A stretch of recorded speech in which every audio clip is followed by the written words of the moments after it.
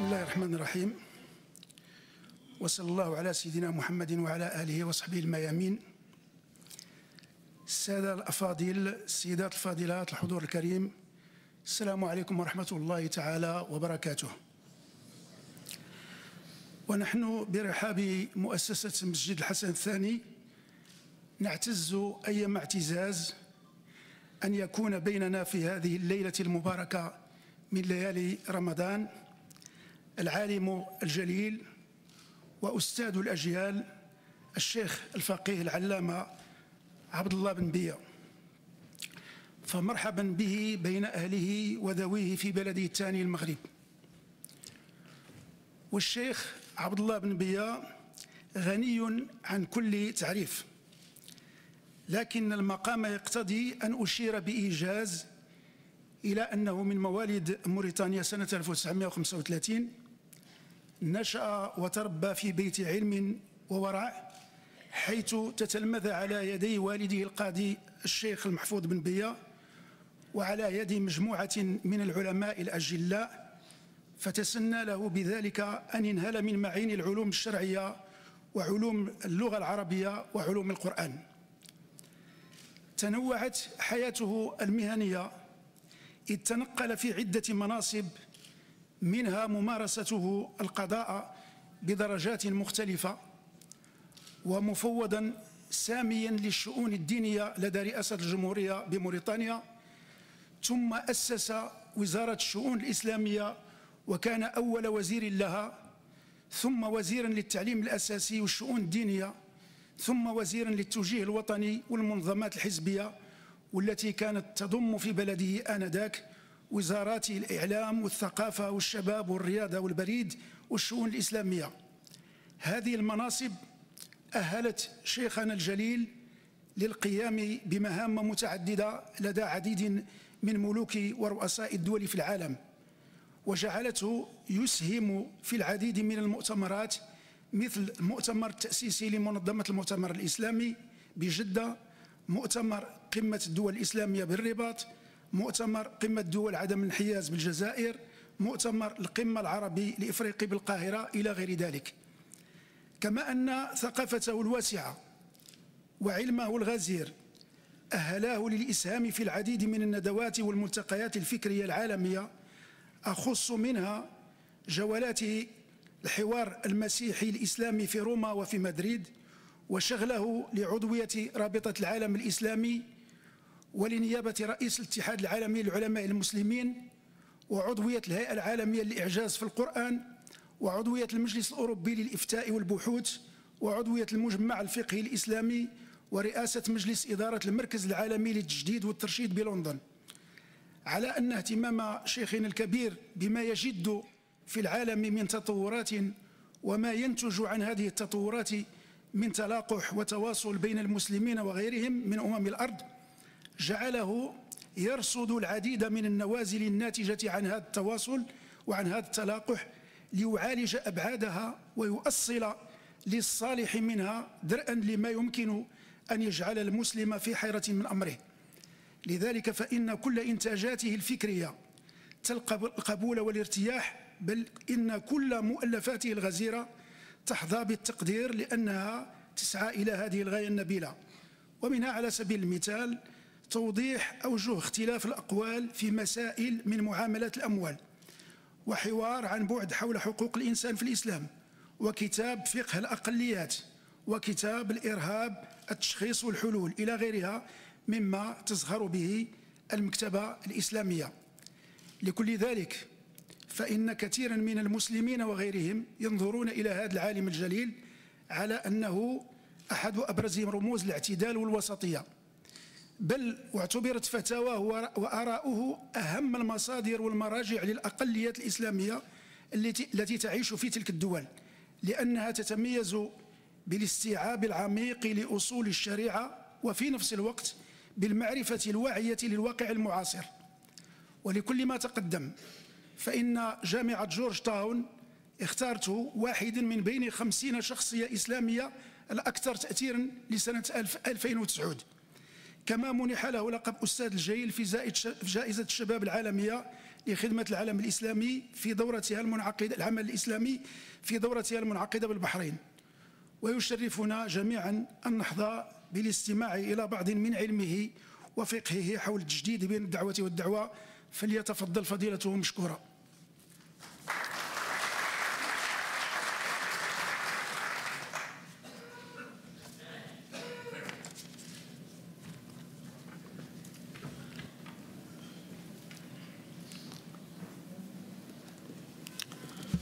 الحمد لله رب العالمين.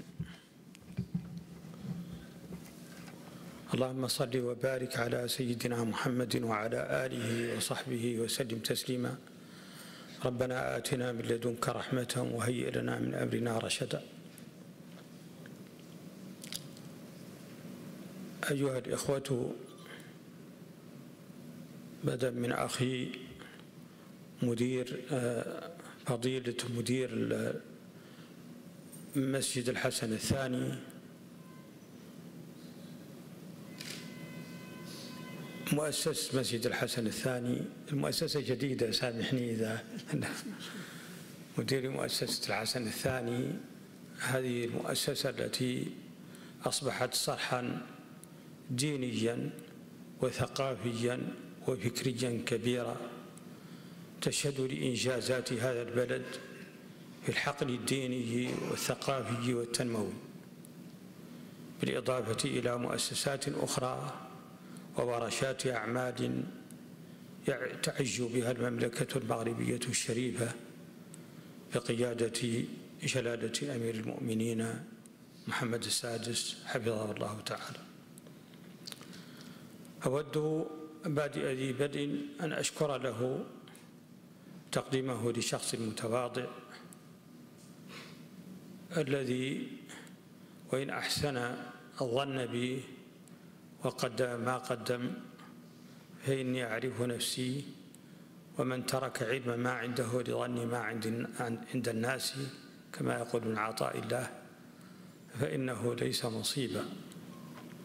فأسأل الله سبحانه وتعالى أن يديم علي ستره ويديم علينا جميعا ستره الجميل وأن يجعلنا عند حسن ظن إخواننا وأن يعيننا على أداء واجبنا وعلى بذل الجهد لتقديم بعض الإنارات لشبابنا وللشعوب الإسلامية التي توجد في محطة من محطات التاريخ. أقل ما يقال عنها إنها محطة حاسمة. وأن العالم الإسلامي فيها في وضع يقول البعض لا يحسد عليه ولكنه في وضع فيه صعوبة كبيرة. مما يوجب علينا جميعا أن نتعاون ونتضافر وبخاصة يوجب على النخبة العلمية النخبة الفقهية النخبة المثقفة أن تقدم الحلول المناسبة الملائمة لهذا العصر الذي نعيش فيه. وأن تبحث عن حلول فوق العادة لأنه عصر فوق العادة. قبل أن أسترسل أود أن أشكر أخي معالي وزير الأوقاف والشؤون الإسلامية أستاذ أحمد توفيق مرة أخرى لدعوته الكريمة ولحفاوته البالغة. الموضوع كما سمعتم هو موضوع التجديد. والناس عادة يبحثون عن كل جديد.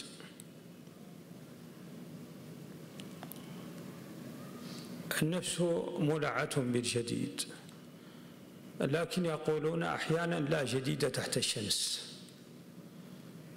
طبعا هناك جديد بالنسبة إلينا نحن المخلوقات الضعيفة.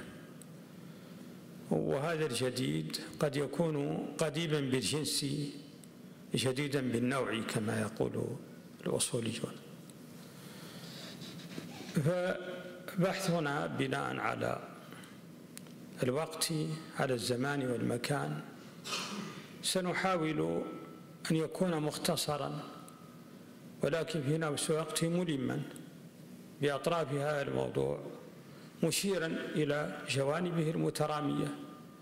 محاولا أن يقدم في نفس الوقت بعض الخلاصات التي تشير وتثير بعض النقاط المهمة في هذا المجال الذي درس كثيرا وكتب عنه بعض المتخصصين آه، كثيرا من الآراء.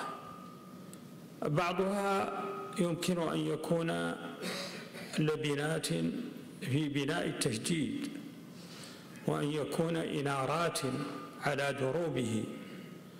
وبعضها لا لا يعدو أن يكون من نافلة القول. وبعضها هو يمكن أن أقول إنه خارج إنه خارج سياق التجديد. ذلك ما سنراه عندما نتحدث عن الدعوة قبل بعد أن نتحدث عن الدعوة. دعوني أتكلم عن مفهوم التجديد. أولا ثم عن دعوة التجديد. ثم عن منهجية التجديد.